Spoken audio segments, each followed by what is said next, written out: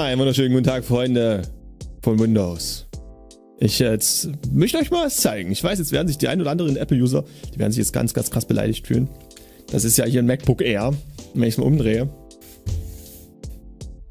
sehen wir gerade ein Windows-Logo. Windows wird gestartet. Hier, hier läuft ja eigentlich äh, Mac OS drauf. In dem Falle Catalina. Also es ist kein ganz taufrisches MacBook Air. Ich weiß, es ist jetzt auch nicht so das Geheimnis auf dem MacBook. Windows laufen zu lassen. Nur die Sache ist die, hier ist kein Windows drauf. Ihr seht ja eigentlich schon, dass jetzt hier gerade Windows drauf läuft, liegt nur an den Stick. Und Windows ist nicht auf dem Computer drauf, Windows ist auf diesem Stick drauf. Das ist praktisch ein Windows to go. Und dieses Windows to go funktioniert nicht nur bei irgendeinem anderen Windows-Tablet oder bei einem Computer, es funktioniert auch bei meinem MacBook Air. Ich kann jetzt ganz normal mit Windows arbeiten. Na, so ganz normal nicht. Aber wie ich das gemacht habe, mein Windows to go, und wie gut das Ganze funktioniert, ob es Einschränkungen gibt oder nicht, oder Vorteile, Nachteile etc., das werde ich euch jetzt erklären. Viel Spaß. Okay, jetzt wollt ihr euch natürlich fragen, wie habe ich auf meinem MacBook jetzt Windows gestartet? Oh, ich habe gerade noch was anderes gecheckt, aber dazu kommen wir dann gleich noch. Also wer ein bisschen jetzt äh, darauf geachtet hat, äh, wie ich das Ganze gemacht habe und jetzt schon Bescheid weiß, der hat vielleicht auch noch eine andere Frage, die euch jetzt auf der Seele brennt und die ich dann später beantworten werde. es wird super mysteriös. Aber wie habe ich das jetzt überhaupt gemacht? Wie habe ich jetzt Windows da vom Stick gebootet auf den MacBook? Es geht Windows 8.1, Windows 10 und Windows 11. Kann ich hier auf den Stick, auf den bootfähigen Stick installieren und dann von dem Stick äh, starten. Und dabei ist es natürlich völlig egal, ob ich den Stick in den Computer stecke, ob ich den Stick in eine Notebook stecke. Obwohl es die Frage ist, was mit MacBook M1, an den habe ich nicht gedacht. Ich habe jetzt natürlich einen älteren MacBook. Aber jetzt mal kurz gezeigt. Also die Software. Kann man sich runterladen. Gibt es hier halt auf der Website. Es gibt eine kostenfreie Version, die extrem eingeschränkt ist, ansonsten halt kostenpflichtig. Da gibt es aber dann zumindest einen Gutscheincode 20%. Verlinke ich euch unten in der Videobeschreibung. Zusammen eben mit der Software hier. Schön. Also Windows 11 to go im Prinzip. Oder Windows 10. Die haben jetzt natürlich Windows 11 geschrieben, weil das einfach die aktuelle Version ist. Und die Software selber gibt es für Windows, aber auch für Mac. Einfach runterladen, installieren, sieht dann so aus. Bei euch wahrscheinlich ein bisschen größer. Ich weiß nicht, warum es bei mir so klein ist. Wir können hier also das Betriebssystem auswählen. Windows 11, Windows 10, Windows 8.1. Kann man hier noch die Sprache einstellen? Installationssprache, denke ich mal. Keine Ahnung. Nimmt man halt einfach Deutsch und 64-Bit oder 32-Bit. Das ist von eurer Hardware abhängig. Genauso auch, ob ihr EFI oder MBR wählt. Heutzutage oder seit helft mir mal weiter, seit 2010 sind Computer auf EFI umgestellt, aber wahrscheinlich schon ein bisschen früher. Und vorher hatten die immer über den Master Boot Record, eine MBR, äh, gebootet. Also sie hatten halt immer diesen Master Boot Record. Das ist dann, glaube ich, auch davon abhängig, wie der Stick halt beschrieben wird. Auch mein MacBook hier, das ist ja von 2011, der, der alte Knochen, der ist auch schon auf EFI. Und hier wählt ihr dann euren USB-Stick. Das Ganze kann man sich mit Sicherheit auch selbst basteln. Ich muss auch zugeben, das wäre mir jetzt auch ein bisschen too much, das selbst zu machen. Ja, das, die Software ist, wie immer, für die Leute, die halt davon keine Ahnung haben, die sagen, ich hätte gern halt Windows auf einem USB-Stick für unterwegs und will, will, das jetzt einfach so leicht wie möglich. Ja, ist, ist glaube ich, leichter als das geht da wirklich nicht. Hier eben auswählen, Windows-Version, äh, dann eben Sprache, ja, können wir immer noch gemeinsam machen, hier Deutsch, 64-Bit, stimmt auch in den meisten Fällen. Also wenn ihr jetzt nicht genau wisst, was ihr für Hardware habt, dann ne nehmt 64-Bit und EFI. Und hier kann man dann eben den Stick auswählen. Und ihr seht, hier ist die eigene Festplatte glücklicherweise nicht zur Wahl. Also man kann nicht mit der Software das eigene System zerschießen. Und dann einfach auf Installieren hitten, oh, da passiert sonst nicht mehr. Also ich kann es jetzt nicht vorführen, ich habe jetzt gerade hier die Demo. Also ich habe auch eine aktivierte Version, aber halt auf einem anderen System. Aber wie schon erwähnt, einfach auf Installieren drücken und dann wird der Stick beschrieben, er wird bootfähig gemacht. Es wird eine Windows-Version aus dem Netz geladen und dann auf den Stick halt fertig installiert. Und dann müsst ihr den Stick einfach nur in euer Notebook stecken, euer MacBook, euer Computer, immer so weiter. Das ist vollkommen egal. Ihr müsst natürlich dann auch auswählen, dass ihr vom Stick bootet. Das kann ich euch jetzt nicht zeigen, weil das ist vom System abhängig. Beispiel. Bei Apple muss man während des Bootvorgangs die Command-Taste gedrückt halten und dann kommt ein Bootmenü und dann kann man einfach den Stick halt auswählen. Bei normalen, Compu bei normalen Computern muss man mit F2 oder mit Entfernen. Ja, sind immer verschiedene Tasten, je nach System. Das findet ihr alles im Internet, findet ihr das raus. Muss man da ins BIOS booten und kann da die Bootreihenfolge halt festlegen. Aber häufig ist USB als First Boot Device eh voreingestellt. Das heißt, das System erkennt den USB-Stick beim Starten und startet vom USB-Stick. Der Bootvorgang ist dann natürlich auch von der Lesegeschwindigkeit des Sticks abhängig und von euren USB-Anschluss. Das kann also alles länger dauern. Die Frage mal beantwortet, die ich am Anfang schon so ein bisschen aufgeworfen habe. Beziehungsweise die Frage erstmal gestellt, ihr wisst ja gar nicht, worum es geht.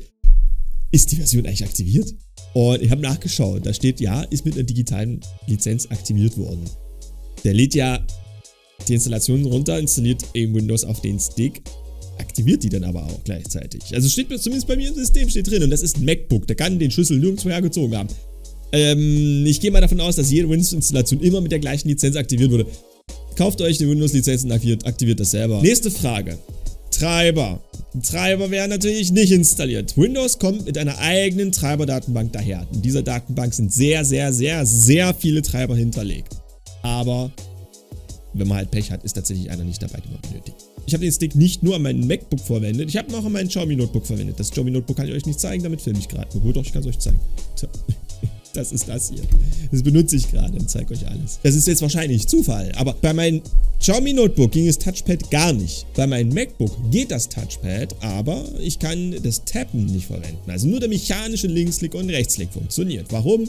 Weil Windows in dem Fall halt durch Zufall die entsprechenden Touchpad-Treiber nicht parat hat. Das ist aber ganz normal. Wenn ihr Windows auf dem System installiert, ist die Chance nun mal durchaus vorhanden, dass gewisse Treiber eben so exotisch sind, dass die in der Datenbank nicht dabei sind. Dann müsst ihr die vorher sichern oder euch irgendwie organisieren und dann halt nachinstallieren. Das geht. Denn euer USB-Stick ist nun Laufwerk C. Die anderen Laufwerke sind immer noch vorhanden, die Daten sind immer noch drauf. Dann könnt ihr unter Umständen auch drauf zugreifen, je nachdem, was für ein System das war. Aber das ist dann auf Laufwerk D, E, je nachdem, wie viele Platten ihr halt in den Systemen drin habt. Aber der USB-Stick, der ist dann das neue Laufwerk C. Das ist die Systemplatte. Ich habe jetzt einen 64 GB Stick, ihr könnt auch einen 256 GB Stick nehmen und dann ist das eben eure Systemplatte und kann ganz normal beschrieben werden. Die Daten werden auch gespeichert, die bleiben euch erhalten, nachdem ihr das System herunterfahrt. Wenn ihr von den Stick auch das erste Mal bootet, kommt ein Einrichtungsassistent. Das heißt, ihr könnt dort die Systemsprache festlegen, das ist das Tastaturlayout festlegen. Ihr könnt euch im WLAN einloggen und ihr könnt euer, wenn ihr das wollt, Windows-Konto verwenden, euch halt anmelden oder ein Offline-Konto erstellen. Das wird alles gespeichert. Das ist also nicht wie diese selbstlöschende Sandbox, gibt es ja unter Windows auch, die, wenn man sie beendet, dann aber auch tatsächlich alle Daten löscht. Und wenn man die Sandbox wieder startet, dann muss man alles eben neu machen, auch alle Programme neu installieren. Das ist bei den Stick aber anders, es ist damit nicht zu verwechseln.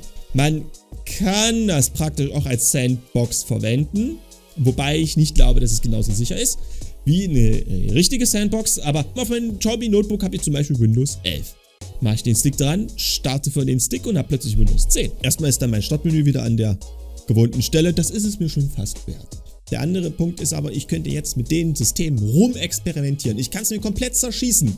Sobald ich den Stick wieder entferne, naja, also man sollte erst den Computer runterfahren. Ansonsten wäre es ja wie wenn man im laufenden Betrieb einfach die Festplatte abstöpselt.